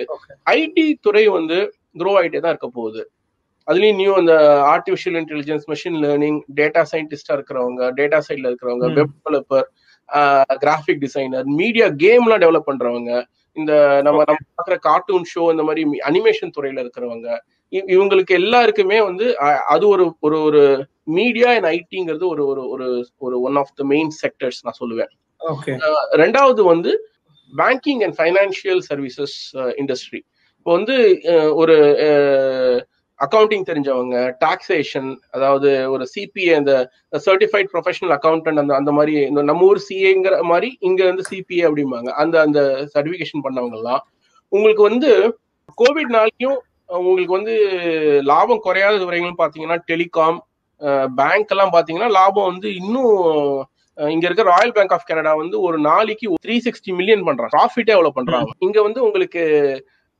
பேங்கிங் அண்ட் அக்கவுண்டிங் அந்த ஃபினான்ஸ் துறையில ரிஸ்க் அனலிஸ்ட் ஆப்ரேஷன்ஸ் இது என்ன இதுவா இருந்தாலும் உங்களுக்கு வந்து நீட் இருக்க போகுது. அது மூணாவது லாஜிஸ்டிக்ஸுங்க அதாவது வந்து இங்க அமேசான் வால்மார்ட் காஸ்கோ இந்த மாதிரியான பெரிய பெரிய பிக் பாக்ஸ் ரீட்டைலர்ஸ்னு சொல்லப்படுற பெரிய பெரிய கடைகள்லாம் இங்க வந்து போடு போடுன்னு போட்டுருக்காங்க. கோவிட்னாலையும் இப்போ வந்து ஒரு வால்மார்ட்குள்ள நுழையிறதோ இல்ல ஒரு காஸ்கோக்குள்ள போகணும்னா மார்னிங் எட்டு மணிக்கு போய் லைன்ல நிக்க வேண்டியிருக்கு. எனக்குலாம் ஆச்சரியமா இருக்கு. அவ்வளவு பேர் என்ன பர்ச்சேஸ் என்னடா ஒரு வாழைப்பழமும் ஒரு ஏன்னோ மளிகை சாமான் வாங்குறதுக்கு இவ்வளவு லைன்ல நின்று வாங்குறீங்க அப்படிங்கிற மாதிரி ஆனா இங்க பாத்தீங்கன்னா அப்படி இருக்கு நிலைமை. நீங்க ஏன்னோ உங்களுக்கு வந்து மக்களுக்கான சப்ளை செயின் வந்து இன்னும் ஸ்ட்ராங்கா தான் ஆயிருக்கு. ஏன்னா இன்னும் நிறைய வந்து ஆன்லைன் வழியா வர்த்தகம் நடக்குது. தேவைகளும் மக்களுக்கு அதிகமாயிட்டு போகுது. தேவையெல்லாம் அதிகமாயிட்டு வருது. வீட்டுக்கே எல்லாம் இப்போ வந்து கிராசரி வரணுங்கிறாங்க. நம்ம நிறைய சோ இப்ப நிறைய என்ன பண்றாங்க? மத்த நாட்டுல இருந்து இங்க இம்போர்ட் பண்ணி வர வச்சு இப்போ நிறைய இந்தியன் இப்போ இப்போ முன்னாடிலாம் நான் கடைக்கு போய் உளுந்து உளுத்தம் பருப்பெல்லாம் வாங்குவோம். இப்போ என்னன்னா நிறைய ட்ரேடிங் கம்பெனிஸ் எல்லாம் வேர் ஹவுசஸ் அதாவது பெரிய கிடங்குகள் குடம் வச்சு அங்கேருந்து வீட்டுக்கே சப்ளை பண்ண ஒரு பாக்ஸ்ல டச் ஃப்ரீயா அவங்க சப்ளை பண்றாங்க. ஸோ லாஜிஸ்டிக் ஆமா இந்த கொரோனா டைம்ல நீங்க அமேசான்லாம் பாத்தீங்கன்னா இன்னும் பூம் தான் ஆயிருக்கு. ஸோ அது வந்து உங்களுக்கு ஜாப் ஆஃபர்ஸா டிரான்ஸ்லேட் ஆகுது. ஸோ லாஜிஸ்டிக்ஸ் துறை மூணாவது ஒரு மெயின் துறையா நான் சொல்லுவேன். ஏன்னா எனக்கு எப்பவுமே வந்து நமக்கு ஒரு நல்ல அக்கௌண்டன்ட் வேணும். நமக்கு வந்து ஒரு நல்ல ஃபினான்ஸ் நமக்கு வந்து டாக்ஸ் எல்லாம் சேவ் பண்றதுக்கு ஒரு பேங்கிங் சைடு ஃபினான்ஸ் சைடுல ஆட்கள் தேவை. ஐடி சைடு ஆட்கள் தேவை.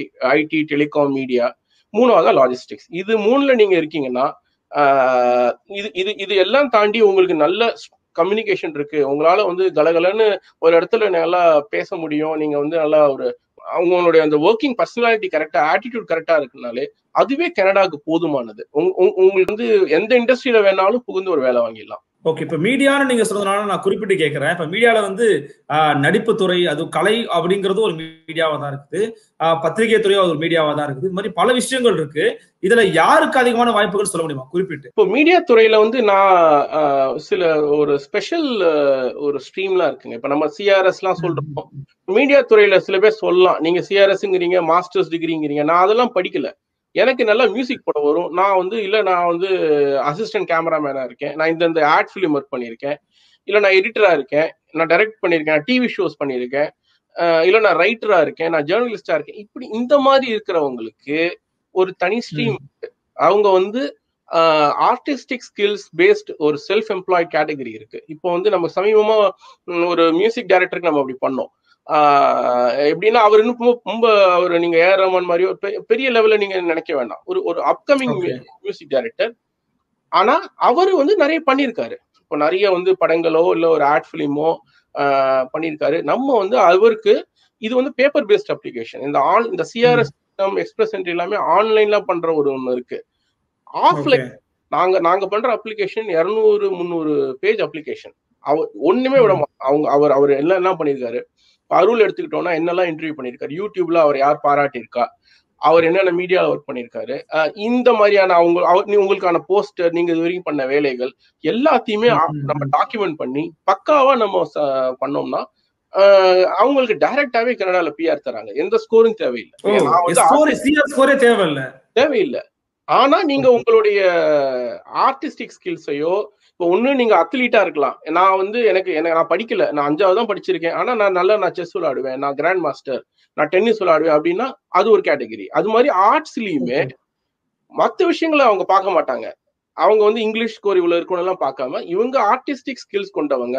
இங்க நான் மீடியா துறையில ஒர்க் பண்ணணும். நான் இதெல்லாம் பண்ணியிருக்கேன். நான் வந்து ஆர்ஜேவா விஜேவா இருந்திருக்கேன் இந்த டிவி சேனல்ல இதே வேலையை நான் கனடால பண்ண போறேன் அப்படின்னு நீங்க அதுக்கான ப்ரூஃப் சரியா கொடுத்தீங்கன்னா கண்டிப்பா நீங்க அப்ளை பண்ணலாம். அது ஒரு டீம் வந்து அவ்வளவு இன்னும் நம்ம நல்லா யூஸ் எக்ஸ்பிளாய்ட் பண்ணப்படல இந்தியன்ஸ்னால நான் நாங்க வந்து அதை நாங்க ஸ்பெஷலைஸ் பண்றோம். சோ ஒருத்தர்கிட்ட அடுத்தடுத்து நிறைய பேர் இதை பார்த்துட்டு வருவாங்கன்னு நினைக்கிறேன். இது ரொம்ப முக்கியமாவும் இருக்கு நல்லாவும் இருக்கு. அதாவது தனித்திறன்கள் ஒருத்தருக்கு இருக்குன்னா அவருக்கு சிஆர்எஸ் ஸ்கோர் எல்லாம் தேவையில்லை. அது திறன்மை திறமையை வச்சு அவர் கனடாக்கு வந்துடலாம். ஆமா நாங்க அத ஆமா அவங்களுடைய பாடி ஆஃப் ஒர்க் என்னென்ன எல்லாமே நம்ம பாக்குறோம். அதாவது என்னென்ன எவ்வளவு அக்ரிமெண்ட்ஸ் அவங்க என்னென்ன கம்பெனிக்கு ஒர்க் பண்ணிருக்காரு யாரெல்லாம் அவரை பத்தி பேசியிருக்காங்க அவங்களுடைய போஸ்டர்ஸ் எல்லாத்தையும் வச்சு நம்ம வந்து எவ்வளவுக்கு எவ்வளவு ஸ்ட்ராங்கா டீட்டெயில்டா கொடுக்குறோமோ அவ்வளவுக்கு அவ்வளவு நமக்கு அப்ரூ அது அப்ரூவ் ஆகிறதுக்கான வாய்ப்புகளும் அதிகம். நிச்சயமா சார். இதுல இன்னொரு கேள்வியும் இருக்கு சார். கனடாவில வந்து வேலை வாய்ப்புகள் குவிந்து இருக்கிறது. கனடாவில இப்ப வந்தீங்கன்னா உங்களுக்கு உடனே வேலை கிடைச்சிரும். இப்படிங்கிற ஒரு சில விளம்பரங்களை நம்மளால பார்க்க முடிகிறது. உண்மையிலேயே கனடாவில் இப்போது வேலை வாய்ப்புகள் இருக்கின்றனவா? இந்த எல்எம்ஐஏ அப்படின்னு ஒரு ப்ராசஸ் சொல்றாங்க. அந்த எல்எம்ஐஏ அப்படின்னா என்ன சார் எக்ஸ்பிளைன் பண்ண முடியும்? எல்எம்ஐஏ அப்படிங்கிறது என்னன்னா லேபர் மார்க்கெட் இம்பாக்ட் அசஸ்மெண்ட் வெளிநாட்டுல இருந்து ஒரு ஃபாரின் ஒர்க்கரை வந்து இந்த கண்ட்ரியில கூட்டு வரும்போது அவர் அந்த வரவர்னால வரவங்கனால இந்த கண்ட்ரிக்கு என்ன இம்பாக்ட் அப்படிங்கிற ஒரு அப்ரூவல் தான் எல்எம்ஐஏ. ஸோ. இப்போ இப்போ எனக்கு வந்து கேனிக்ஸ்க்கு வந்து ஒரு ஆள் நம்ம எடுக்கணும் அப்படின்னா நான் வெளியில இருந்து வெளி நாட்டுல இருந்து ஒருத்தர் இப்போ அருள்ல வந்து நான் இங்க கூட்டு வரணும் அப்படின்னா நான் எல்எம்ஏ அப்ரூவல் வாங்கியிருந்தாதான் உங்களை நான் உங்களுக்கு நான் விசாவோ இல்ல பிஆரோ நம்ம பண்ண முடியும். ஸோ எல்லாமே அப்புறம் யாரு வாங்கணும் சார் கம்பெனி வாங்கணும். நான். எம்ப்ளாயர் எனக்கு வந்து ஒரு ஐடி சாஃப்ட்வேர் இன்ஜினியர் வேணும். இல்ல எனக்கு வந்து ஒரு. ஒரு மீடியா ஒரு இவர் வேணும் ஒரு வேணும்னா நான் வந்து இங்க இருக்கிற லேபர் டிபார்ட்மெண்ட் அதாவது எம்ப்ளாய்மெண்ட் சர்வீசஸ் டெவலப்மெண்ட் கனடா இஎஸ்டிசின்னு ஒரு இமிகிரேஷன் சாராத ஒரு டிபார்ட்மெண்ட் இருக்கு லேபர் டிபார்ட்மெண்ட் அவங்கள பொறுத்தவரை நீங்க ஏன் வெளியில இருந்து கூட்டு வரீங்க? இங்க இருக்கிறவங்க எல்லாம் எவ்வளவு பேர் நீங்க இன்டர்வியூ பண்ணீங்க? எங்கெல்லாம் அட்வர்டைஸ் பண்ணீங்க இந்த பொசிஷனை உங்களுக்கு உங்க உங்க கம்பெனியோட பழைய ஹிஸ்டரி என்ன? கடந்த மூணு நான்கு வருடங்கள்ல நீங்க எவ்வளவு லாபம் பண்ணிருக்கீங்க? உங்களால வந்து சம்பளம் தர முடியுமா அவங்களுக்கு? இது. எல்லாம் பார்த்து தரதுதான் எல்எம்ஐ அப்ரூவல் அது அவ்வளவு ஈஸியா கிடைச்சிடாது அது வந்து ஒரு எம்ப்ளாயர் இப்ப ஒரு ஒரு கம்பெனிக்கு வந்து அது ஒரு பெரிய ஒரு தலைவலியான வேலை. இப்ப எனக்கு வந்து ஒரு. இமிகிரேஷன் இன்னொரு கன்சல்டன்ட் வேணும்னா நான் வந்து இங்க மார்க்கெட்ல பார்த்து நான் ஹையர் பண்றது எனக்கு வந்து அது ஈஸியா இருக்கும். கனடாக்குள்ள வர ஓகே. இப்போ நான் எல்லா எல்லாமே அப்ரூவல் போனா நான் வந்து லீடிங் ஜாப் போர்ட்டல்ஸ் அஞ்சு இடத்துல நான் வந்து அட்வர்டைஸ்மெண்ட் ரன் பண்ணணும் அது மினிமம் ஒவ்வொரு ஆடும் வந்து நாற்பது நாள் போகணும். அதுக்கப்புறம் நான் வந்து. நான் ஒரு இன்டர்வியூ கம்பெனிக்கு வந்து ஒரு இன்டர்வியூக்கு போகணும் லேபர் டிபார்ட்மெண்ட்ட இதுக்கப்புறம் வந்து ஒரு அஞ்சு ஆறு மாசம் ஆகும் ஒரு எல்லாமே அப்ரூவல் வாங்குறதுக்கு. இது அவ்வளவு ஈஸி கிடையாது. அதனாலதான் இப்போ வந்து நிறைய பேர் என்கிட்ட கேட்பாங்க. எனக்கு ஒரு எல்எம்ஏ வாங்கி கொடுத்துருங்க. இல்லைன்னா இல்ல அது வந்து எல்எம்ஏங்கிறது இங்க இருக்கிற இப்ப எனக்கு ஜாப் மட்டும் வாங்கி கொடுத்துருங்க சார் பிஆர்லாம் வேணாம் அப்படிம்பாங்க. அதுதான் கஷ்டம். அதாவது வந்து ஜாப் இருந்தாதான் ninety nine percent of the companies employers here prefer permanent residence ஏன்னா இப்போ உங்ககிட்ட பிஆர் இருக்குன்னா எனக்கு உங்களுக்கு பிடிச்சிருக்குன்னா நான் நான் நீங்க வாங்க நாளைக்கு வாங்க மண்டே இன்னைக்கு ஜாயின் பண்ணிக்கங்கன்னு சொல்லிடலாம்.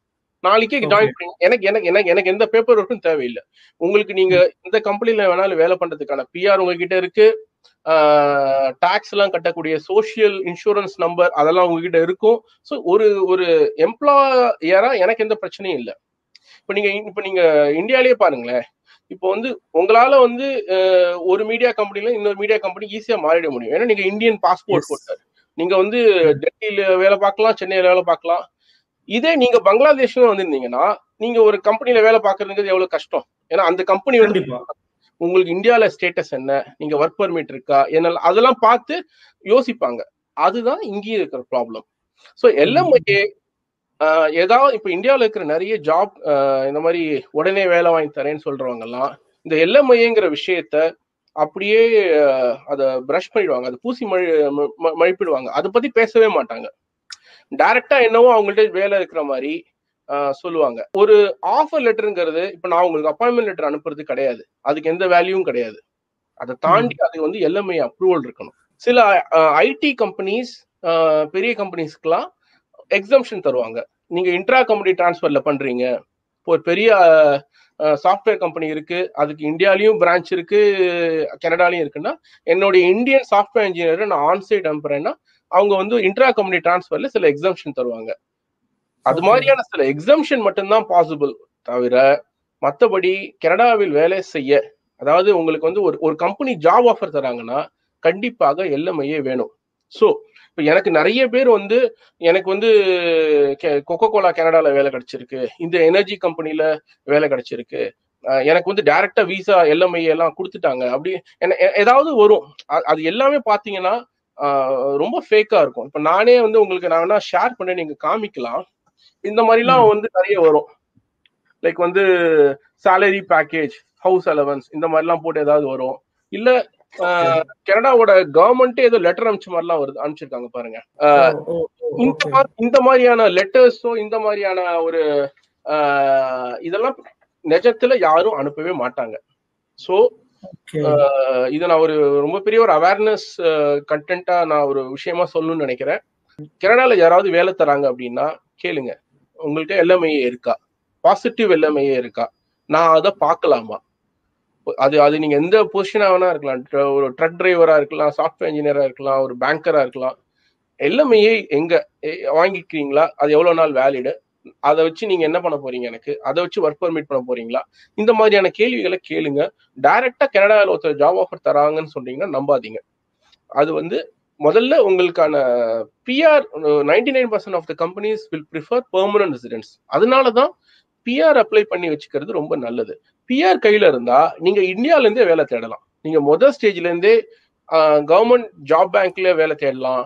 நிறைய அப்புறம் போக போக நீங்க நிறைய பிரைவேட் ரெக்ரூட்டர்ஸோட கான்டாக்ட்ஸ் எல்லாம் இப்போ எங்கள்கிட்ட எங்களுடைய கிளைண்ட்ஸுக்கு நாங்களே தரோம். ஒவ்வொரு இண்டஸ்ட்ரியிலையும் top five to ten recruiters அவங்க கான்டாக்ட் ஸோ ஜாப் சர்ச் அசிஸ்டன்ஸ்ங்கிற ஒரு ஒரு பேக்கேஜில் நம்ம எல்லாமே நம்ம தரோம். ஸோ ஒரு நல்ல கம்பெனிங்களை உங்களை ஒரு மூணு நாலு ரவுண்ட் இன்டர்வியூலாம் வச்சு உங்க திறமைய பார்த்து தான் வேலை தருவாங்க. அப்புறம் எல்லாமே வேணும். இது எதுவுமே இல்லாம டைரெக்டாக உங்களுக்கு அப்பாயின்மெண்ட் லெட்டர் கைக்கு வருதுன்னா நம்பாதீங்க. அப்படி ஒரு சிஸ்டமே கனடால கிடையாது. கண்டிப்பா. இதெல்லாம் வந்து தவறான வழி எ- வந்து நம்மள ஃப்ராடுலண்டா ஏமாத்துவதற்கான விஷயங்கள் இருக்கு அப்படிங்கிறது ரொம்ப உன்னிப்பாவும் குறிப்பாவும் சொல்லியிருக்கிறீங்க சார் என்னோட அடுத்த கட்ட கேள்வி நம்ம ரொம்ப நேரத்தை நெருங்கிட்டோம். பிஎன்பி அப்படிங்கறத பத்தி நீங்க சொல்லணும்னு சொல்லியிருந்தீங்க. பிஎன்பி அப்படிங்கிறது என்ன சார் இது இந்த பேட்டியில முன்னாடி டச் பண்ண மாதிரி ப்ராவின்ஷியல் நாமினேஷன் ப்ரோக்ராம்ஸ்ங்கிறது ஒவ்வொரு ப்ராவின்ஸும் அவங்க வந்து நாமினேட் பண்ணலாம். அவங்க ரெக்கமெண்ட் பண்ணலாம். யாருக்கு என் ப்ராவின்ஸ்க்கு என் ப்ராவின்ஸ்ல என்னுடைய ஸ்டேட்ல யாருனால எனக்கு வந்து பெனிஃபிட் இருக்குமோ எனக்கு இவங்கெல்லாம் வேணும் அப்படின்னு. அவங்க வந்து ரெக்கமெண்ட் பண்ணி ஒரு சர்டிபிகேட் தரது தான் அந்த ப்ரொவின்ஷியல் நாமினேஷன் இந்த ப்ராவின்ஷியல் நாமினேஷன் வந்து ரெண்டு விதமா இயங்கும். அதாவது வந்து ஒன்று நம்ம இந்த சிஆர்எஸ் ஸ்கோர் பத்தி நிறைய பேசினோம். இப்போ எனக்கு வந்து சிஆர்எஸ் ஸ்கோர் நானூத்தி ஐம்பது நானூத்தி அறுபதுல இருக்குன்னா சில ப்ராவின்சஸ் வந்து நம்மள டைரக்டா அவங்களே ஒரு இன்விடேஷன் அனுப்புவாங்க. நம்மளுடைய மெயின் அப்ளிகேஷன் இந்த எக்ஸ்பிரஸ் என்ட்ரி அப்ளிகேஷன்ல நமக்கு ஒன் ஃபைன் மார்னிங் பாத்தீங்கன்னா ஒரு டெரிட்டோரியல் இன்ட்ரெஸ்ட் ப்ராவின்ஷியல் இன்ட்ரெஸ்ட் லெட்டர்னு ஒரு லெட்டர் வரும். இப்போ நீங்க வந்து we think your skills are matching our requirements please apply அப்படின்னு அவங்களே நம்மளுடைய கவர்மெண்ட் வெப்சைட் நம்மளுடைய இன்பாக்ஸ்க்கு உள்ள ஒரு இன்விடேஷன் அனுப்புவாங்க. இது ஒரு வகை. அவங்க நம்ம- சில ப்ராவின்சஸ் நம்மள அவங்க நம்ம கூப்பிட்டா தான் போக முடியும். நம்ம அப்ளை பண்ண முடியும். சில ப்ராவின்சஸ் என்ன பண்ணுவாங்க? வருஷம் முழுக்க அவங்க வந்து சில ஸ்ட்ரீம்ஸ் ஓப்பனா வச்சிருப்பாங்க. இப்போ பிரின்ஸ் எட்வர்ட் ஐலண்ட் ஒரு ப்ராவின்ஸ் இருக்கு. அங்க வந்து ஒரு யூனோ ஒரு இன்டர்நேஷனல் ஸ்கில்டு ஒர்க்கர் ஸ்ட்ரீம் இருக்கு. சாஸ்காச்சுவான் ஒரு ப்ராவின்ஸ் இருக்கு. அங்கேயும் பாத்தீங்கன்னா on demand in demand occupation லிஸ்ட்னு ஒரு கேட்டகரி இருக்கு. எக்ஸ்பிரஸ் என்ட்ரி கேட்டகரின்னு ஒன்று இருக்கு. இவங்கெல்லாம் என்ன பண்ணுவாங்க? இவங்க வந்து இந்த சிஆர்எஸ் ஸ்கோர் மாதிரி இவங்க ஒரு பாயிண்ட் சிஸ்டம் வச்சிருப்பாங்க. பிஎன்பியில் என்ன அட்வான்டேஜ்னா இப்போ. நான் சொன்ன 29 வயசுக்கு மேல உங்களுக்கு மெயின் சிஆர்எஸ் ஸ்கோர்ல வந்து ஏஜுக்கான பாயிண்ட் வந்து முப்பது வயசு ஆச்சுன்னா அஞ்சு பாயிண்ட் குறையும். முப்பத்தோரு வயசு ஆச்சுன்னா பத்து பாயிண்ட் குறையும். இப்படி அஞ்சஞ்சா குறையும். ரொம்ப ஏஜுக்கான இம்பாக்ட் அதிகமா இருக்கும். ஆனா ப்ரொவின்ஷியல் நாமினேஷன் ப்ரோக்ராம்ஸ்ல அதுவும் சில குறிப்பிட்ட ப்ரோக்ராம்ஸ்ல ரிலாக்ஸ் பண்ணுவாங்க. நீங்க வந்து முப்பத்தஞ்சு வயசு வரைக்கும் உங்களுக்கு ஏஜுக்கான பாயிண்ட்ஸை ஃபுல்லா கொடுத்துருவாங்க. முப்பத்தஞ்சுல இருந்து நாற்பத்தஞ்சு வரைக்குமே பாத்தீங்கன்னா ரெண்டு பாயிண்ட் தான் குறைப்பாங்க. ஸோ ஒரு ஒருத்தர் சொல்றாரு எனக்கு நல்ல எக்ஸ்பீரியன்ஸ் இருக்கு. எல்லா டிகிரிலாம் இருக்கு. வயசு தான் கொஞ்சம் ஜாஸ்தின்னா அவருக்கு மெயின் சிஆர்எஸ் ஸ்கோர் கம்மியா இருக்கலாம் அதுல பாத்தீங்கன்னா முந்நூறு பாயிண்ட் தான் இருக்கலாம் ஆனா. ப்ராவின்ஷியல் நாமினேஷன்ல பாத்தீங்கன்னா அவர் அட்வான்டேஜ் இருப்பார் இப்போ. எது வந்து ஒரு டிஸ்அட்வான்டேஜா பார்க்கப்படுதோ ஒரு மெயின் ஸ்ட்ரீம்ல அதே நம்ம பிஎன்பில சில பிஎன்பில அது அட்வான்டேஜா இருக்கும். அதே மாதிரி கனடால ஒருத்தர் படிச்சிருக்காரு இல்ல இப்போ அந்தந்த ப்ராவின்ஸ்களால ஏதோ ஒரு கனெக்ஷன் இருக்குன்னா நம்ம கண்டிப்பா வந்து அந்த அதை நம்ம லிவரேஜ் பண்ண முடியும் ஸோ அண்ட் ப்ராவின்ஷியல் டிராஸ் வந்து நடந்துட்டே தான் இருக்கு. இப்போ வந்து இந்த பிப்ரவரி மாசமே பாத்தீங்கன்னா என்கிட்ட இருக்கிற டேட்டா படி ஒரு பத்து டிராஸ் இது வரைக்கும் நடந்திருக்கு. பிப்ரவரி பதினெட்டு வந்து பிரின்ஸ் எட்வர்ட் ஐல நடந்திருக்கு. பதினாறு அல்பர்டா பிப்ரவரி பதினாறு அன்னைக்கு அன்டீரியோ நடந்திருக்கு. பிப்ரவரி பன்னெண்டு வந்து மேனிடோபா பிப்ரவரி பதினொன்னாம் தேதி Saskatchewan Feb ninth British Columbia fifth second again Ontario ஒன்று பண்ணியிருக்காங்க ஸோ இது பாயிண்ட் என்னன்னா இது தொடர்ச்சியா நடந்துட்டு இருக்கு டிஆர்எஸ் ஸ்கோர் வச்சு தான் நம்ம வந்து கனடாக்குள்ள வர முடியும்னு இல்லை இப்போ நானே வந்து என் பர்சனல் கேஸ் பார்த்தீங்கன்னா நான் அல்பர்டா மாகாணத்துக்கு தான் செலக்ட் ஆகி வந்தேன். இருக்கு. ரொம்ப முக்கியமான விஷயம் அருள் அதை நான் சொல்லிடுறேன். இப்போ. வந்து ப்ராவின்சஸ்ல வந்து உங்களுக்கு வந்து ரெஸ்ட்ரிக்ஷன்ஸ் கிடையாது. அதாவது வந்து நிறைய பேர் என்ன நினைக்கிறாங்க நான் ஒரு ப்ராவின்ஸ்க்கு வந்துட்டேன்னா நான் தமிழ்நாடு மாதிரி இங்க அல்பர்டாக்கு வந்துட்டேன்னா நான் அது அல்பர்ட்டா விட்டு நான் வெளியிலே போக முடியாதா? நான் வேற ப்ராவின்ஸ்ல ஒர்க் பண்ண முடியாதான்னு கேக்குறாங்க. அப்படிலாம் எதுவும் கிடையாது. நீங்க நீங்க வேணா ஒர்க் பண்ணலாமா? வரலாம். நீங்க முதல்ல லேண்ட் ஆகுது அந்த ப்ராவின்ஸ்ல லேண்ட் ஆகணும். அதாவது ஒரு ப்ராவின்ஸ்னால உங்களுடைய பிஆர வந்து ரெஸ்ட்ரிக்ட் பண்ண முடியாது. Canadian constitution charter of freedoms படி நீங்க எங்க வேணாலும் மூவ் பண்ணலாம். எங்க வேணாலும் ஒர்க் பண்ணிக்கலாம் எங்க வேணா செட்டில் ஆயிக்கலாம் உங்களுடைய கரியர் நீட்ஸை பொறுத்து. உங்களை நாமினேட் பண்ண ப்ராவின்ஸ்க்கு ஒரு சிறு மரியாதையாக நீங்க அந்த ப்ராவின்ஸுக்கு வாங்க. அங்க லேண்ட் ஆகுங்க. அங்க பேப்பர் ஒர்க்லாம் முடியுங்க எல்லாம் வந்து உங்களோட பிஆர் கார்டெலாம் வாங்கிக்கோங்க. அங்க ஒர்க் அவுட் ஆச்சுன்னா ஓகே அங்கேயே வேலை கிடைக்குதுன்னா சந்தோஷமா ஒர்க் பண்ணுங்க. அப்படி இல்லைன்னா நான் அல்பர்டாக்கு வந்துட்டேன். ஆனா எனக்கு வந்து பிரிட்டிஷ் கொலம்பியால ஒரு வேலை கிடைச்சிருக்கு. நான் போலாமானா போகலாம் ரெண்டு வருஷம். மூணு வருஷம் பாண்ட் எல்லாம் எதுவும் கிடையாது. நீங்க எந்த ப்ராவின்ஸ்ல வேணா ஒர்க் பண்ணலாம். அதை முறையா சொல்லிட்டே வரலாம். நாங்க அதுக்கும் ஹெல்ப் பண்றோம். ஒரு ப்ராவின்ஸுக்கு நீங்க அவங்களுடைய விசா ஆஃபீஸ்க்கு நீங்க ப்ராப்பரா இன்ஃபார்ம் பண்ணலாம். என்னுடைய என்ன நான் எனக்கு வந்தேன். எனக்கு இந்த ப்ராவின்ஸ்ல வேலை கிடைச்சிருக்கு. டிரான்ஸ்ஃபர் ஆயிடுச்சு. இல்ல நான் இந்த ப்ராவின்ஸ்க்கு போறேன்னு சொல்லிட்டே நம்ம போலாம். நான் வந்து அல்பர்ட்டால வந்துட்டு அல்பர்ட்டால டொரண்டோ வந்து ஒரு பத்து வருஷம் ஆக போகுது. இங்க வந்து தான் என்னோட பிஆர் ரெனியூ பண்ணது. நான் சிட்டிசன் ஆனது எல்லாமே இங்க தான் எனக்கு எந்த இம்பாக்டும் வரல. என்னுடைய பர்சனல் எக்ஸ்பீரியன்ஸ் படியும் சொல்றேன். லீகலாவும் நான் வந்து அனலைஸ் பண்ணி சொல்றேன். நீங்க ஒரு ப்ராவின்ஸ்க்கு வந்தீங்கன்னா இன்னொரு ப்ராவின்ஸுக்கு மாறலாம். அது ஒரு விஷயமா நீங்க யோசிச்சு ரெஸ்ட்ரிக்ட் பண்ணிக்காதீங்க உங்களை. நிச்சயமா சார் பல விதமான விஷயங்கள் ஷேர் பண்ண இருக்கிறீங்க இறுதியா ஒரு கேள்வி. இந்த கேள்வி வைக்காம வந்து இந்த ஷோவை முடிக்க முடியாது. ஒட்டுமொத்தமா வந்து இந்த இந்த டோட்டல் ப்ராசஸ் முடிவதற்கான டைம் எவ்வளவு எடுக்கும்னு சொல்ல முடியுமா? அதே போல கேனக்ஸ் டாட் சிஏவை அணுகுவதற்கான வழிமுறைகள் உங்களை எப்படி நாங்க வந்து அப்ரோச் பண்றது? ஸோ ப்ராசஸ் டைம் வந்து ரெண்டு விஷயம் இருக்கு. மினிமம் ப்ராசஸிங் டைம் ஒரு பிஆர் பார்த்தீங்கன்னா ஆறுலேருந்து எட்டு மாதம் நீங்கள் அந்த ட்ரால செலக்ட் ஆனோன்னு இப்போ அவங்க ரெண்டு வாரத்துக்கு ஒரு தடவை ட்ரா செலக்ட் ஆகி பண்ணிட்டே இருக்காங்க. இப்போ வந்து ஒரு வெனஸ்டே மார்னிங் ட்ரா நடக்குதுன்னா இப்போ நாலன்னைக்கு நடக்க போகிற ட்ராக்கு நான் டியூஸ்டே அன்னைக்கு நான் வந்து ஒரு அப்ளிகேஷன் டியூஸ்டே நைட் போட்டால் கூட வெனஸ்டே மார்னிங் எனக்கு அதுக்கான இன்விடேஷன் வந்துருச்சுன்னா அப்போலேருந்து ஆறு மாதத்துலேருந்து எட்டு மாதம் உங்களுக்கு ஆவரேஜ் ப்ராசஸிங் டைம் பிஆருக்கு இதே ப்ரொவின்ஷியல் நாமினேஷன் நம்ம வந்து ஒரு டைம் சொல்ல முடியாது. ஏன்னா ஒரு ப்ராவின்ஸ் வந்து எப்போ டிரா பண்றாங்கிறது அவங்க சொல்ல மாட்டாங்க.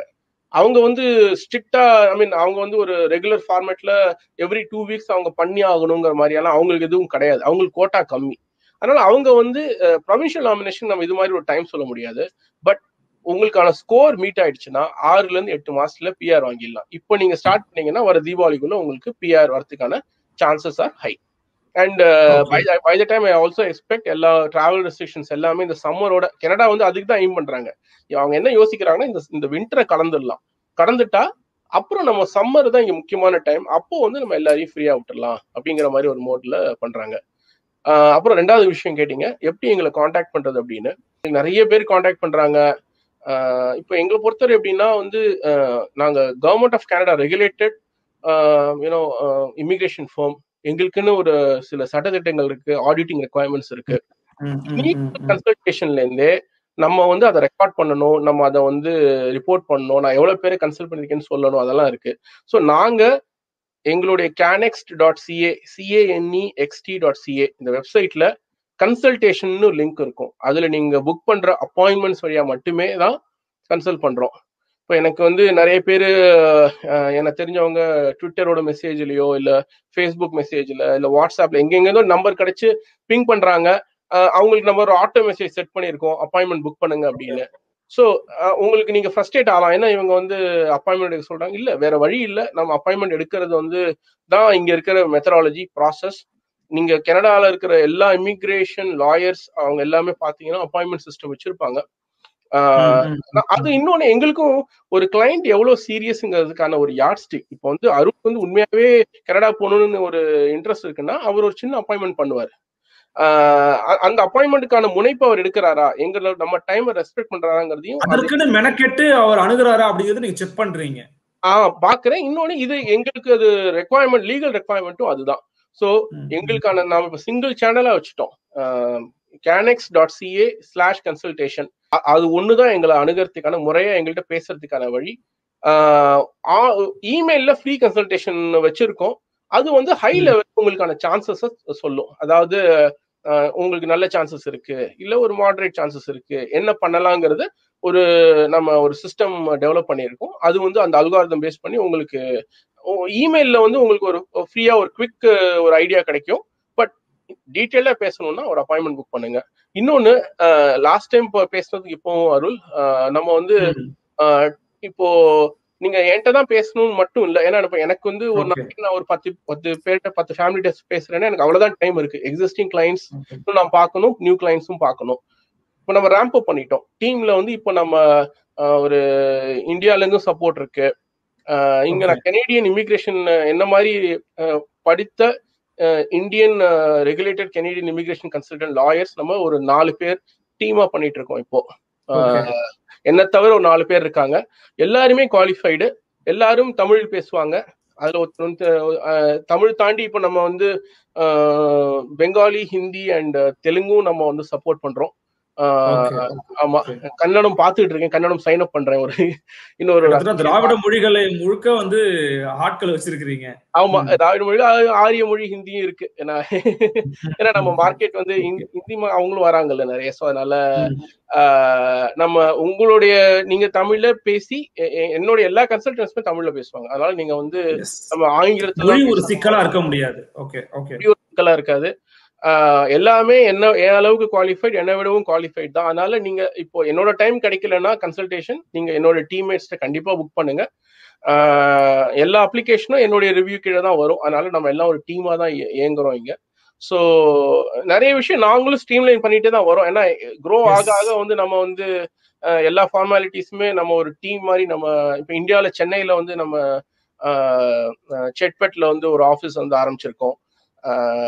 யூனோ அவங்க ஒரு சிந்தியா அப்படிங்கிறவங்க வந்து எடுத்து நடத்துறாங்க. அவங்க ஒரு யூனோ. எங்களுடைய ஆத்தரைஸ்டு ஏஜென்சி அவங்க வந்து எடுத்து ஃப்ரான்ச்சைஸ் மாதிரி பண்றாங்க. இது மாதிரி நம்ம ஒவ்வொரு எங்களுடைய அட்ரஸ் பேஜ்ல நீங்க பாத்துக்கலாம் யாரெல்லாம் காண்டாக்ட் பண்ணலாம்னு. But end of the day consultation வழியாக மட்டுமே நாங்கள் புது கிளைண்ட்ஸை நம்ம வந்து அட்வைஸ் பண்றோம்.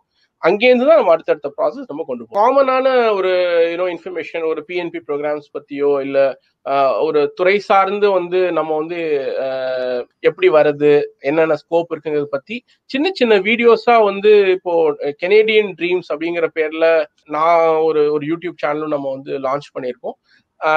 அதுல இப்ப என்னுடைய வீடியோஸும் வரும். என்னோட டீம்மேட்ஸ் வீடியோ நம்ம வந்து இல்ல இங்க கனடால செட்டில் ஆன நல் தமிழர்கள் ஒவ்வொரு துறை சார்ந்து இங்க பிசினஸ்ல நல்லா கொடிக்கட்டி பறக்கிறவங்க இங்க ஒரு பேங்க்ல பெருசா வேலையில இருக்கிறவங்க ஐடில இருக்கிறவங்க அவங்க அனுபவங்களை பகிர்ந்துக்கிறாங்க. ஸோ நீங்க முடிஞ்சா எங்க என்னுடைய அந்த கெனேடியன் ட்ரீம்ஸ் கேனெக்ஸ்டோட இமிகிரேஷன் அந்த யூடியூப் சேனலை சப்ஸ்கிரைப் பண்ணீங்கன்னா நீங்க அதுலயும் உங்களுக்கு இன்ஃபர்மேஷன் கிடைக்கும். நிச்சயமா. நேயர்களுக்கு மிக நிச்சயமாக ஒரு பயனுள்ள ஒரு அனுபவத்தை ஒரு நேரத்தை தான் இது வந்து கண்டிப்பா கொடுத்துருக்கும்னு நினைக்கிறேன்.